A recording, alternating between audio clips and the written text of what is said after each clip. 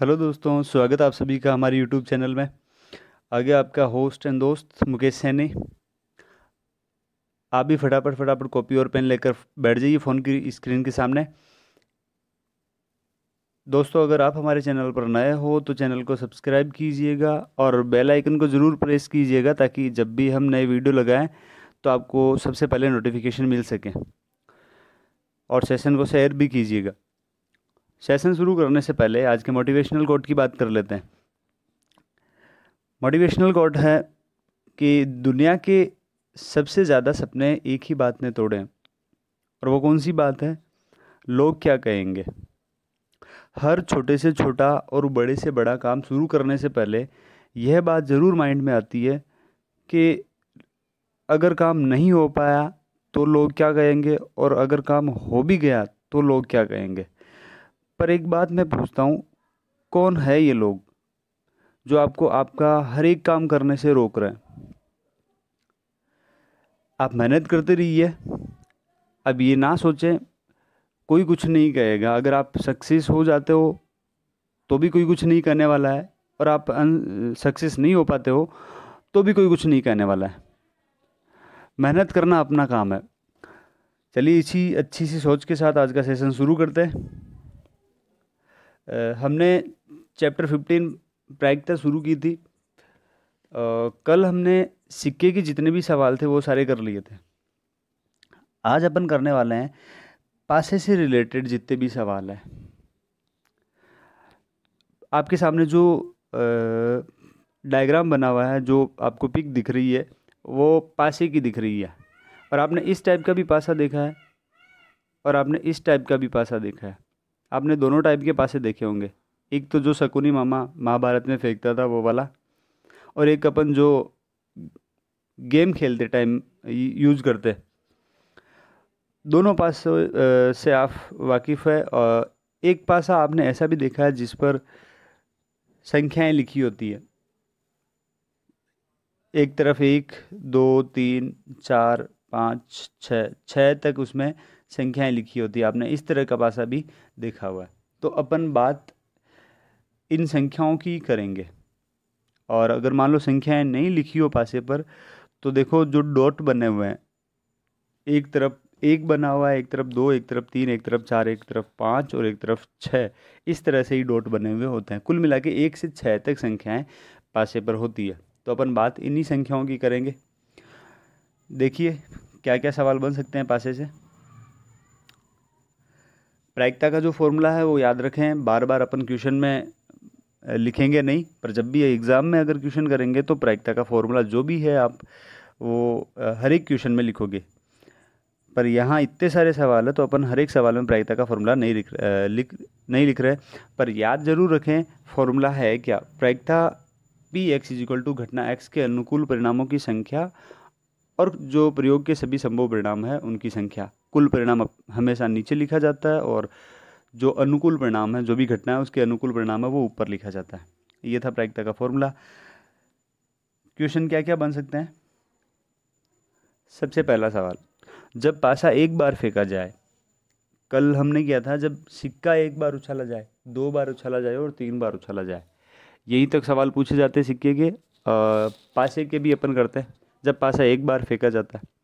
देखिए, जब अपन पासे को एक बार फेंकते हैं तो पासे पर क्या क्या नंबर गिर सकता है? भाई, अपन जब लूडो का गेम खेलते हैं तो लूडो के गेम में क्या क्या नंबर आ सकता है? हो सकता है अपने एक आए, हो सकता है अपने दो आए, तीन, चार, पाँच और छः इनमें से कोई भी एक नंबर आ सकता है। ठीक है? तो हमारे पास परिणामों की संख्या कितनी हो जाती है? छः ये छः मैंने संख्याओं को काउंट करके लिखा है। एक, दो, तीन, ऐसे। चार, पाँच और छः ये वाला छः नहीं है ये। मैंने संख्याओं को काउंट करके लिखा है। ठीक है? तो परिणामों की संख्या कितनी हो जाएगी? छः क्योंकि एक से छः तक कोई भी नंबर है, वो पासे पर आ सकता है। तो परिणामों की संख्या तो लिख दी अपन ने। एक से लगाकर छः तक काउंट करके लिख दिया छः ठीक है? और ये भी समझाया था कि परिणामों को हमेशा इस ब्रेकेट के अंदर लिखा जाता है। हमेशा ये वाला ब्रेकेट लगा हुआ होना चाहिए। कुल परिणामों को अपन हमेशा इस मंजले ब्रेकेट या जिसे अपन मीडिएटर बोलते हैं या जिसे कर्व ब्रेकेट बोलते हैं, इसके अंदर लिखा जाता है। ठीक है? तो इस ब्रेकेट के अंदर लिखा जाएगा। तो मैंने लिखा है एक से छः तक परिणामों की संख्या हो गई छः सवाल क्या क्या बन सकते हैं? पहला सवाल है जब हमने पासा फेंका जब हमने वो पासा फेंका तो पासे पर संख्या तीन आए इसकी प्रायिकता अपन को निकालनी है।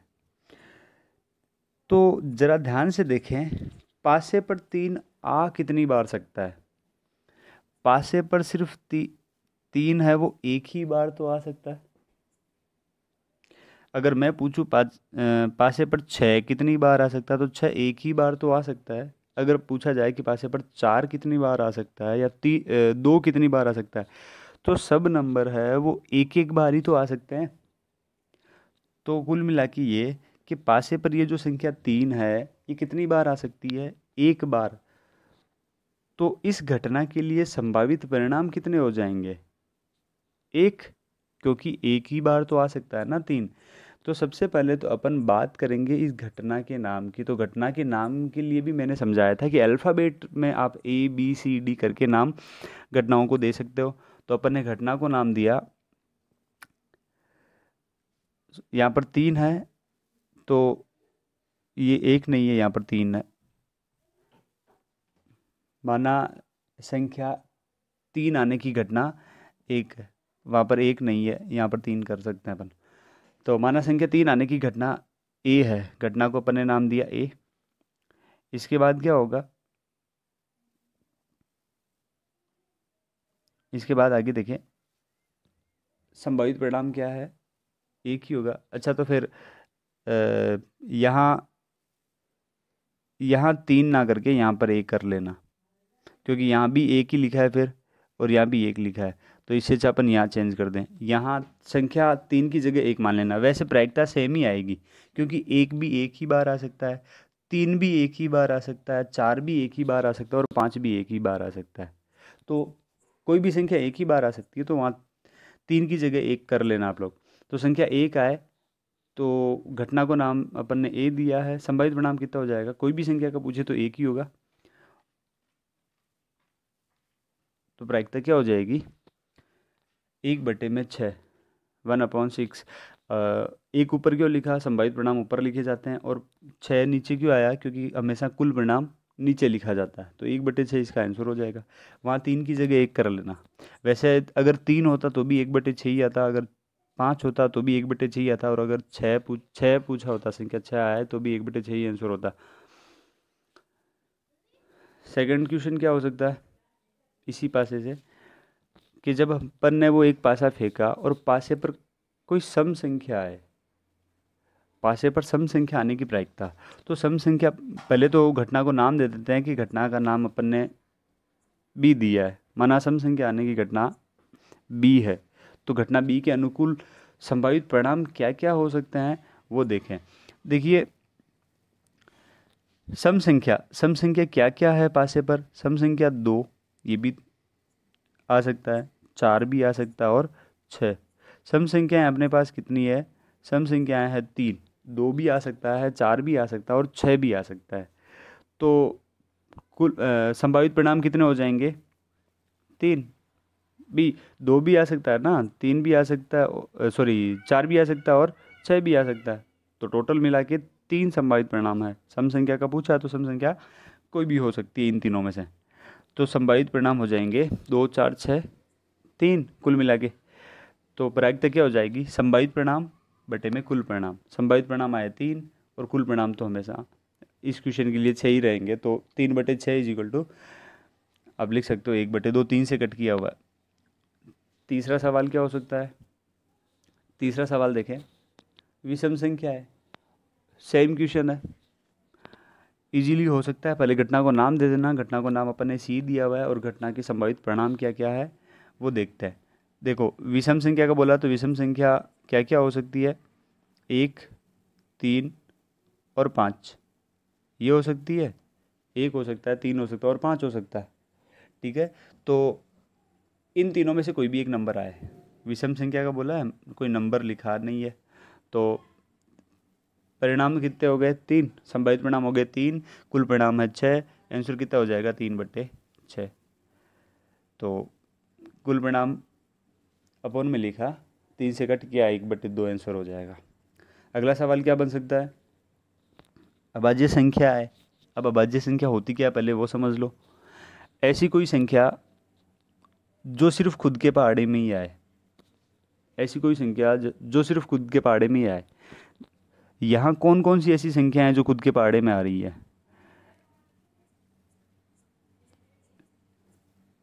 देखिए, दो सिर्फ़ खुद के पहाड़े में आता है, तीन सिर्फ़ खुद के पहाड़े में आता है, चार चार दो के पहाड़े में आ रहा है तो चार को नहीं गिनेंगे। पाँच पाँच खुद के पहाड़े में ही आता है सिर्फ़ छः छः दो के पहाड़े में भी आता है और तीन के पहाड़े में भी आता है। अपन ने बात नहीं की एक की, एक कहाँ गया फिर?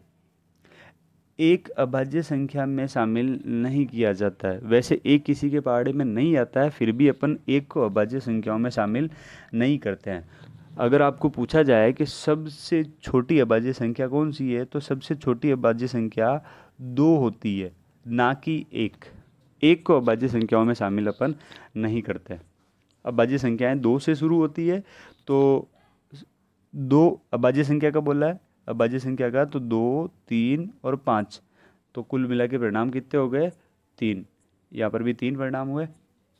घटना को नाम डी दिया है, संभावित परिणाम देखें। दो, तीन, पाँच इजिकल टू तीन। अब देखें तो वही तीन बटे छः प्रायिकता हो जाएगी पी डी इजिकल टू तीन बटे छः कट करोगे तो वही एक बटे दो। अगला सवाल क्या बन सकता है? सम अभाज्य संख्या आए अभी अभी पीछे जो सवाल किया था क्वेश्चन नंबर फोर, उसमें सिर्फ़ इतना ही था अभाज्य संख्या है उसमें सिर्फ़ ये था अभाज्य संख्या है इस बार एक नया वर्ड आ गया, सम। तो देखिए, उसमें और इसमें क्या फ़र्क है? पहले तो वो देखो अभाज्य संख्या है तो अभाज्य संख्या कौन कौन सी थी? दो था, तीन था और पाँच था। अब ये बोल रहा है कि अभाज्य संख्या तो है ही है, उसमें वो सम होनी चाहिए। सम अभाज्य संख्या। तो आपके पास तीन अभाज्य संख्या लिखी हुई है। इसमें से कौन सी सम संख्या है? वही हमारा आंसर है। दो। सिर्फ़ एक ही तो है ना सम संख्या।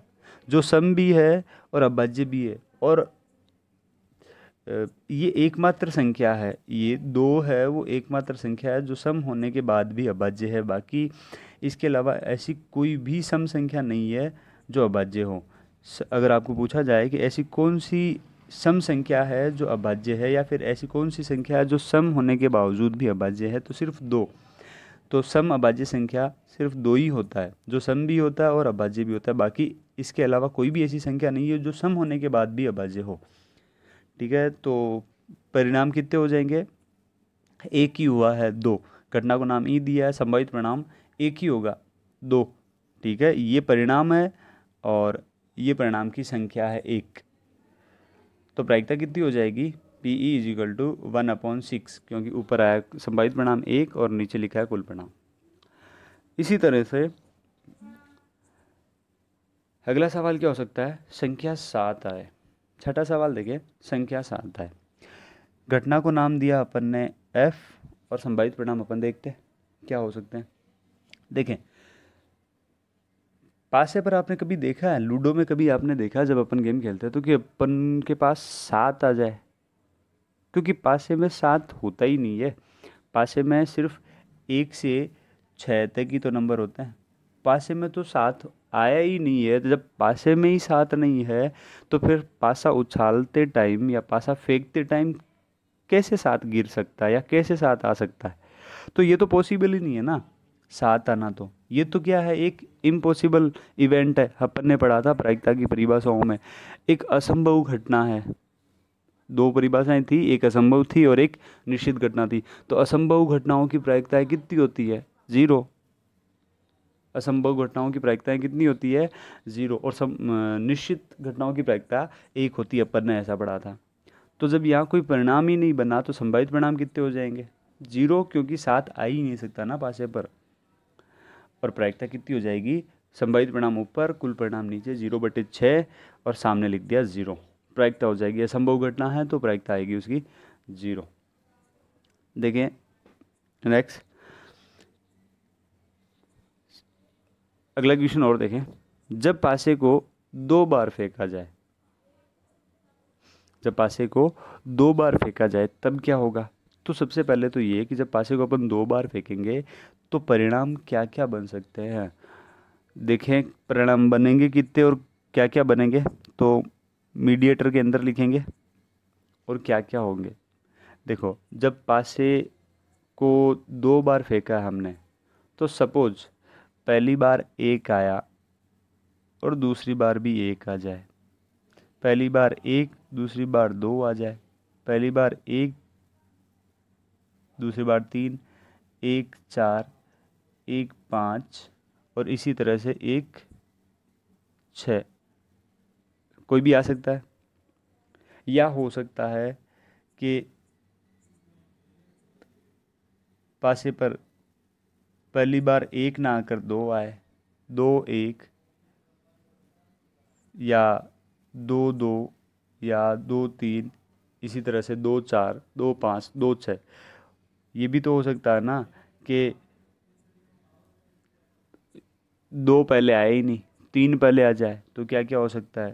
तीन एक, तीन दो, तीन तीन तीन चार, तीन पाँच और तीन छः। इसी तरह से हो सकता है तीन ना आकर चार आ जाए, पहले तो चार एक, चार दो चार तीन, चार चार चार पाँच, चार छः, या फिर ऐसे भी हो सकता है कि पाँच आए पहले तो पाँच एक, पाँच दो इस तरह से अपन लिख सकते हैं। तो कुल मिला के अपने पास इतने सारे संभव, ये संभव परिणाम बनेंगे। देखो, मैंने जो लिखा हुआ है, वो आप समझ भी सकते हो, वैसे ज़्यादा डिफ़िकल्ट है नहीं ये लिखने में और याद करने में। एक एक एक, दो, एक, तीन, एक, चार, एक, पाँच और एक छः इसी तरह से इस लाइन में दो, एक, दो दो दो, तीन करके लिखा हुआ है। तीन, एक, फिर चार, एक चार दो, चार तीन, फिर पाँच एक, पाँच दो, पाँच तीन और छः एक, छः दो, छः तीन। ऐसे भी याद रख सकते हो और या फिर आप ये ये भी तो याद रख सकते हो कि ग्यारह, बारह, तेरह, चौदह, पंद्रह, सोलह या इक्कीस, बाईस, तेईस, चौबीस, पच्चीस, छब्बीस, ऐसे इकतीस, बत्तीस, छत्तीस तक काउंट कर लोगे, इकतालीस से छियालीस, इक्यावन से छप्पन, इकसठ से छियासठ तक। तो टोटल परिणाम है कितने? काउंट कर सकते हो आप। टोटल परिणाम कितने हो जाएँगे ये? थर्टी सिक्स ये इसे अपन एक परिणाम काउंट करेंगे। इसे, ये जो छोटे ब्रैकेट के ये दूसरा ये, तीसरा ये, चौथा ये, क्योंकि अपन ने दो बार उछाला ना तो दो संख्याओं के साथ में अपन काउंट करेंगे। तो एक, दो, तीन, चार, पाँच और छः छः एक लाइन में, ऐसी छः लाइनें हैं टोटल काउंट कर लो कितने हो जाएँगे ये। तो काउंट किया अपन ने तो टोटल हो रहे हैं ये थर्टी सिक्स इसका मतलब ये हुआ कि जब अपन एक पासे को दो बार फेंकते हैं तो टोटल थर्टी सिक्स परिणाम बनेंगे। अब इसके सवाल है, वो बहुत इंटरेस्टिंग सवाल बनेंगे इससे, जब पासे को दो बार उछाला जाता है तो। पहला सवाल क्या है? दोनों बार समान संख्या आए। जब अपन ने पासे को दो बार फेंका, पहली बार कोई संख्या आई फिर दूसरी बार कोई संख्या आई। तो हमें सवाल ये दिया है कि दोनों बार समान संख्या आए इसकी प्रायिकता निकालनी है आपको। तो पहले तो ये देखो दो बार सम आ, इसके संभावित परिणाम है कितने? घटना को नाम मैंने ए दिया हुआ है। इस घटना को दो बार समान संख्या है दोनों बार। तो समान संख्या कहाँ कहाँ दिख रही है? तो थोड़ा ध्यान से देखें छत्तीस परिणामों में। दोनों बार समान संख्या है। देखो मुझे यहाँ दिख रही है एक एक उसके बाद मुझे यहाँ भी दिख रहा है। दो दो ये तीन तीन चार चार पाँच पाँच और छः छः इसके अलावा आपको अगर कहीं दिख रहा है कि जहाँ दोनों संख्याएँ समान हो, मुझे नहीं लगता ऐसा और कोई परिणाम होगा। एक एक दो दो तीन तीन चार चार पाँच पाँच और छः छः टोटल परिणाम काउंट कर सकते हो? एक, दो, तीन चार पाँच और छः यही छः परिणाम है? हाँ।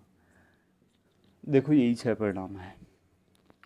तो संभावित परिणाम कितने हो गए? छः सवाल क्या था? सवाल समझ में आया होगा। एक बार फिर से आप वीडियो देख लेना अगर ना, आपको थोड़ा लगे तो। सवाल ये था कि दोनों बार समान संख्या है। समान संख्या सिर्फ़ यही थी? एक एक दो दो तीन तीन चार चार। ठीक है? संभावित परिणाम छः और कुल परिणाम है छत्तीस। तो छः बटे छत्तीस छः से मैंने कट किया तो एक बटे छः दूसरा सवाल क्या बना? दूसरा सवाल है पासे पर प्राप्त संख्याओं का योग सात हो। पासे पर जो संख्याएँ हैं, उनका योग सात होना चाहिए दोनों को मिलाकर। घटना को नाम अपन ने दिया बी।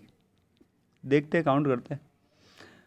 कहाँ कहाँ पर आपको दोनों संख्याओं का योग सात होता दिख रहा है तो देखते हैं अपन। देखो, एक एक सात नहीं हुआ। एक, दो सात नहीं हुआ। एक, तीन, एक, चार, एक, पाँच, एक, छः। पहला परिणाम ये मिला। एक, छः। ठीक है? फिर दो, एक, दो दो चार होगा, दो तीन, पाँच होगा, दो चार छः, दो पाँच सात। ये हो गया, फिर और काउंट करो। दो छः, आठ हो रहा है। आप ऐड करते जाओ। देखो, तीन, चार, ये भी सात होगा। उसके बाद ये चार, तीन, इसका योग भी सात हो रहा है, दोनों का योग।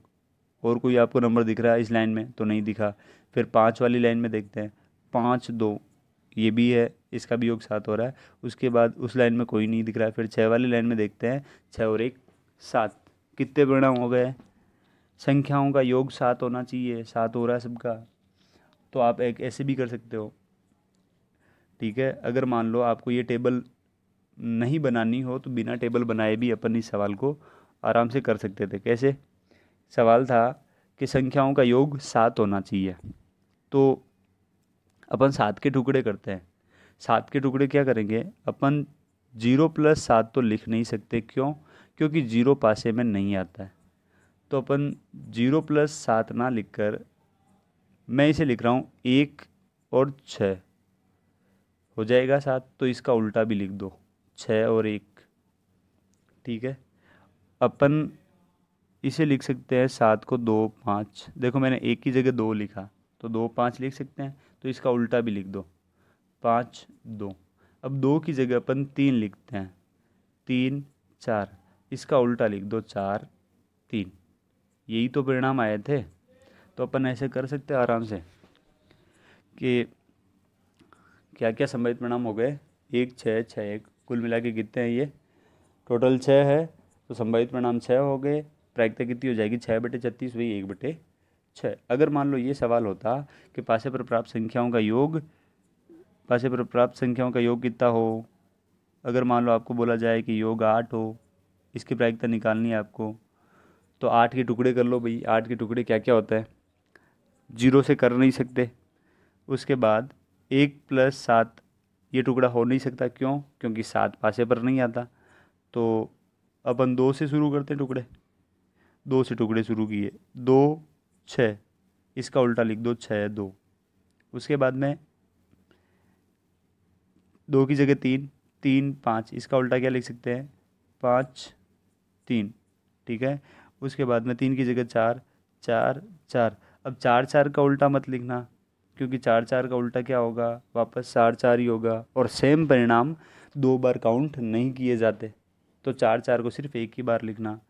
तो टोटल कितने परिणाम हो जाएँगे? पाँच। ऐसे कर सकते हैं। ऐसे अगर मान लो संख्याओं का योग नौ दिया हो तो नौ का आप कैसे करोगे? भाई जब संख्याओं का योग नौ करना है तो अपन ज़ीरो प्लस नौ नहीं लिख सकते। एक प्लस आठ भी नहीं लिख सकते, क्योंकि आठ उस पर नहीं आता। दो प्लस सात भी नहीं लिख सकते, क्योंकि सात पासे पर नहीं आता। तो अपन क्या करेंगे? तीन और छः, यहाँ से शुरू करेंगे तो छः तीन इसका उल्टा हो जाएगा। फिर तीन की जगह चार, पाँच। तो पाँच चार इसका उल्टा हो जाएगा।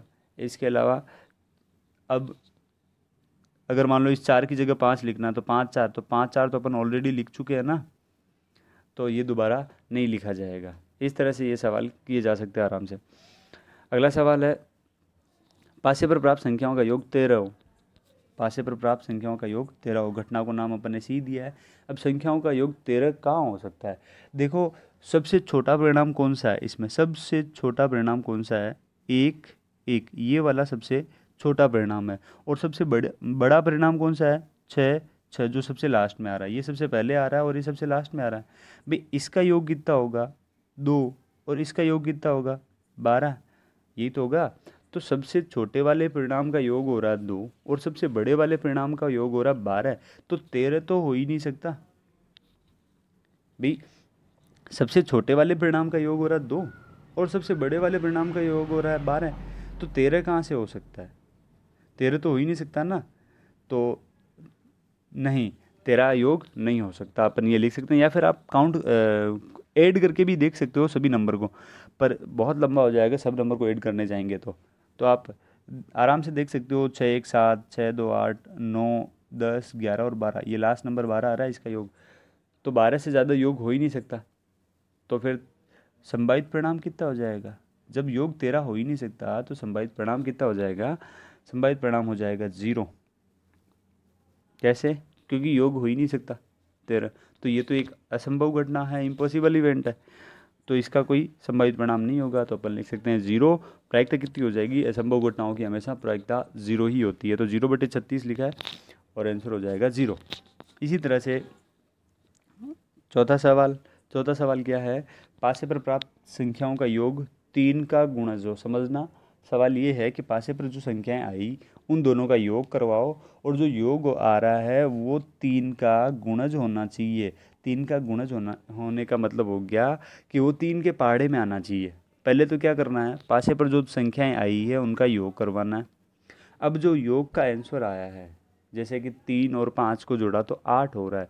तो जो भी आपका योग आया है, जैसे कि आठ आया था तो ये तीन के पाड़े में आ रहा है कि नहीं आ रहा है? आपको ये देखना है। पहले तो योग करवाना है। योग तीन के पाड़े में आ रहा है कि नहीं आ रहा है? आपको ये चेक करना है। तीन का गुणज होने का मतलब ये हुआ। देखते हैं। ऐसी कौन कौन सी संख्या हैं? घटना को नाम अपन डी दिया है, समय परिणाम अपन देखने जा रहे हैं। तो कहाँ कहाँ आपको दिख रहा है? पहले तो योग करवाते हैं। एक एक, दो। जहाँ भी योग तीन के पहाड़े में आए, वो अपन लिख लेंगे। देखो, दो एक या एक दो, तीन हो रहा है, तीन के पहाड़े में तीन आएगा। फिर ये नहीं आएगा, ये भी नहीं है। पाँच, एक, पाँच छः होता है। तीन के पहाड़े में आ जाएगा छः ऐसी और कोई संख्या है? वैसे तो जो आपने ऊपर सर्कल किया है, वो नीचे आएगी उसका उल्टा। एक दो तो दो एक भी है। एक पाँच आ रहा है तो पाँच एक भी आएगा। ठीक है? एक पाँच आया तो पाँच एक भी आएगा। मैंने उसका उल्टा ही डायरेक्ट यहाँ पर सर्कल कर दिया। इसके अलावा और नंबर काउंट करो दूसरी लाइन में। दो दो।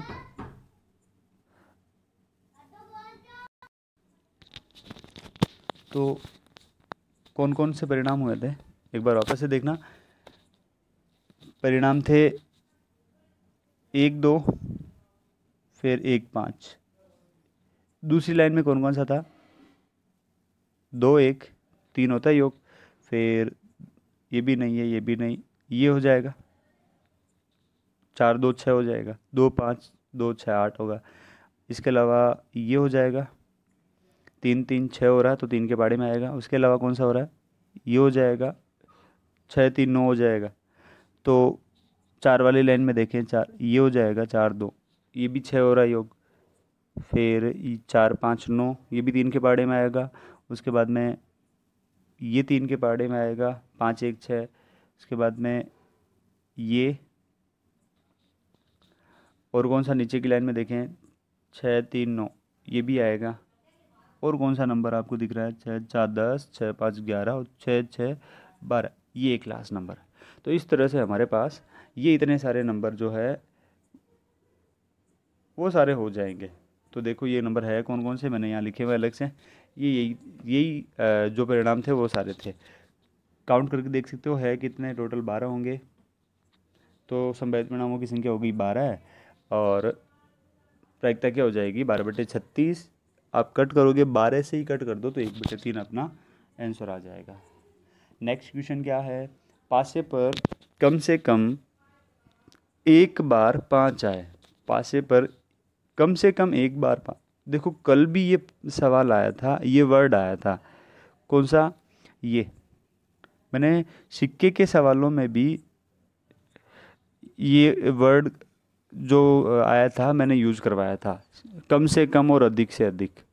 और यहाँ पर भी मैंने यही यूज़ करा वर्ड और ये बहुत इम्पोर्टेंट होता है ये वर्ड का आना क्वेश्चन में। ठीक है? अगर मान लो ये सवाल होता ना ऐसे कि पासे पर एक बार पाँच आए तो ये सवाल अलग होता। पासे पर कम से कम एक बार पाँच आए। ये सवाल अलग हो गया। कम से कम अगर वर्ड को हटा दिया जाए तो सवाल बदल जाएगा। ठीक है? देखो मतलब क्या है, वो भी मैंने समझाया था, फिर भी एक बार और समझ लेते हैं कि इसका मतलब क्या है।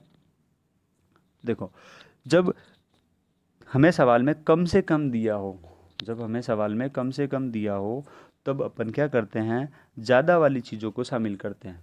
या जो अधिक वाली चीज़ें हैं, उनको शामिल करते हैं। और अगर हमें सवाल में अधिक से अधिक दिया हो, तब अपन कम से, कम वाली चीज़ों को शामिल कर लेते हैं। मतलब उल्टा किया जाता है, जब ये वर्ड आ जाता है तो कम से कम हो तो अधिक वाली चीज़ें, और अधिक से अधिक हो तो कम वाली चीज़ों को शामिल कर लिया जाता है। तो पहले तो ये देखते हैं कि पाँच आ कितनी बार सकता है वैसे। पासा हमने कितनी बार फेंका है? दो बार। तो पाँच भी तो कितनी बार आ सकता है? भाई जब अपन ने पासा दो बार फेंका तो पाँच कितनी बार आ सकता है पासे पर? हो सकता है पाँच आए ही नहीं। मतलब ज़ीरो बार आ सकता है। हो सकता है पाँच एक बार आ जाए। हो सकता है पाँच दो बार आ जाए। भाई, यही तो पॉसिबिलिटी है ना कि पासा जब अपन ने फेंका ही दो बार है तो हो सकता है पाँच आए ही नहीं। मतलब ज़ीरो बार। हो सकता है पाँच एक बार आए और हो सकता है पाँच दो बार आए। सवाल क्या है? कम से कम एक बार। कम से कम एक बार। तो ये रहा एक मतलब जहाँ जहाँ पाँच एक बार आया है, वो वो आप शामिल कर ही लोगे। जहाँ जहाँ पाँच एक बार आया है, वो तो आपको शामिल करना ही है। साथ ही साथ, जहाँ पाँच दो बार आया है, वो भी शामिल करना है। क्यों ऐसा? क्योंकि वर्ड क्या आया है? कम से कम। और जब कम से कम वर्ड आता है तो अपन अधिक वाली चीज़ें भी शामिल करते हैं। अगर ये ज़्यादा से ज़्यादा लिखा होता तो अपन कम वाली चीज़ों को शामिल करते हैं। पर यहाँ वर्ड है कम से कम तो अपन जहाँ पाँच एक बार आया है, वो भी काउंट करोगे। जहाँ पाँच दो बार आया है, वो भी काउंट करोगे। ठीक है? तो ऐसे कितने परिणाम है, वो देखते हैं। देखो, पाँच एक बार इस लाइन में है। कौन सी लाइन है? देखो, इस लाइन में पाँच या इस पूरी लाइन में ही पाँच। यहाँ पाँच है, यहाँ भी पाँच है, यहाँ भी पाँच है, यहाँ भी पाँच है और यहाँ भी पाँच। इस लाइन में भी पाँच है। ये जो परिणाम आ रहा है ना, ये ये परिणाम, इसमें देखो पाँच दो बार आ रहा है, बाकी सब में एक एक बार है। तो एक एक बार आया है, वो भी काउंट करना है जहाँ दो बार आया है, वो भी काउंट करना है। हाँ गिना वो सिर्फ़ एक ही लाइन में जाएगा मतलब या तो चाहो तो आप उसे इस लाइन में काउंट कर लो, चाहो उसे इस लाइन में काउंट कर लो। गिनना इस पाँच पाँच को एक ही बार है। दोनों बार, ऐसा नहीं है कि आप नीचे से काउंट कर रहे हो तो भी काउंट कर रहे हो और इधर से आपने गिनना शुरू किया है तो भी आप इसे गिन रहे हो, ऐसा नहीं है। तो टोटल कितने परिणाम है? एक, दो, तीन, चार, पाँच, छः। इधर से सात, आठ, नौ, दस और ये नीचे वाला ग्यारह टोटल परिणाम हो रहे हैं ग्यारह। देखो कौन कौन से हैं, वो भी मैंने समझा दिया। ये वाले परिणाम है वो, सारे वही है। देखो, एक, पाँच, दो, पाँच, तीन, पाँच, चार, पाँच और पाँच पाँच, क्योंकि वहाँ दोनों बार आया। तो कम से कम वर्ड आया, इसलिए अपन दोनों बार वाले को शामिल कर रहे हैं। तो टोटल परिणाम हो गए ग्यारह और प्रायिकता कितनी हो जाएगी? ग्यारह बट्टे छत्तीस। ये मैंने कुछ एक सवाल आपके लिए दिए टेबल मैंने आपको बना के दे ही दी है। कुल परिणाम मैंने आपको बना कर दिए प्राप्त संख्याओं का योग बारह हो, प्राप्त संख्याओं का योग पाँच का गुणज हो और प्राप्त संख्याओं का योग अधिक से अधिक चार हो। प्राप्त संख्याओं का योग अधिक से हाँ ये वाला सवाल एक बार थोड़ा सा हिंट दे देता हूँ मैं इस सवाल में। योग अधिक से अधिक चार हो। जब अधिक से अधिक वर्ड आया हो तो अपन कम वाली चीज़ों को शामिल कर लेंगे। योग वैसे हो कितना सकता है? पासे पर जो अंक आ रहे हैं। देखो, मैंने बताया था पासे पर अंक आ रहे हैं। सबसे छोटा हो सकता है दो, योग तीन भी हो सकता है, चार, पाँच छः इसी तरह से योग बारह तक हो सकता है। हमें क्या दिया है? हमें दिया है योग चार होना चाहिए। अधिक से अधिक योग चार होना चाहिए। तो देखो मैंने चार पर सर्कल कर दिया। अब जब वर्ड अधिक से अधिक दिया है तो अपन क्या करेंगे? कम वाली चीज़ों को शामिल कर लेंगे। मतलब जहाँ योग तीन हो रहा है, वहाँ भी आप, उसे भी आप काउंट करोगे और जहाँ पर योग दो हो रहा है, उसे भी काउंट किया जाएगा। ठीक है? इतने सारे परिणामों को काउंट करना और ये तीनों सवाल करना। नेक्स्ट सेशन में अपन वापस इन सवालों की बात करेंगे। आज के सेशन में इतना ही। एक फॉर्मूला है, वो भी साथ साथ में देखते जाए। फॉर्मूला क्या है? कल भी अपन ने सिक्के के लिए भी पढ़ा था। फॉर्मूला था सिक्के के लिए दो की घात एन सिक्के के लिए फॉर्मूला था ये, दो की घात एन जहाँ पर एन क्या था? मैं सिक्कों की संख्या बोलूँ तो भी सही है, या फिर मैं ये बोलूँ सिक्कों की उछाल तो भी सही है। ठीक है? वैसे ही आज पासी के लिए भी फॉर्मूला जो है कि हमें पता कैसे चलेगा, हमें याद कैसे रहेगा कि कितने परिणाम बनेंगे। जैसे हमने सिक्के के लिए किया था, दो की घात एन एन की जगह एक, दो, तीन, चार रखते जाएँगे तो हमारा आंसर आता जाएगा कि भाई इतने परिणाम बनेंगे।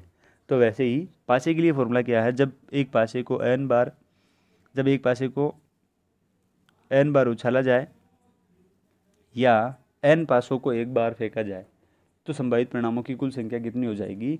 छः की घात एन ये छः की घात एन आप ऐसे लिखोगे तो भी राइट माना जाएगा।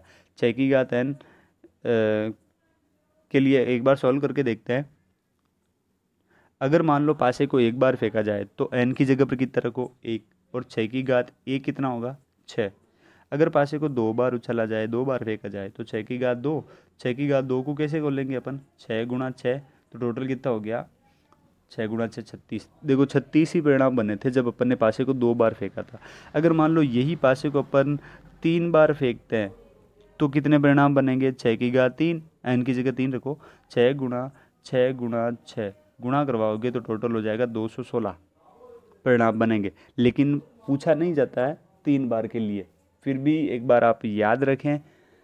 एमसीक्यू में ये पूछा जा सकता है कि अगर पासे को तीन बार फेंका जाए तो परिणामों की संख्या कितनी होगी?